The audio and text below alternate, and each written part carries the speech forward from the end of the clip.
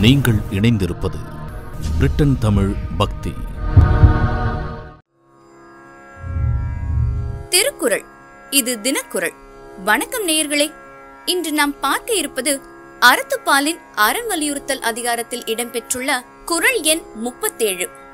அறத்தாறு இது என வேண்டா சிவிகை பொறுத்தானோடு ஊர்ந்தான் இடை.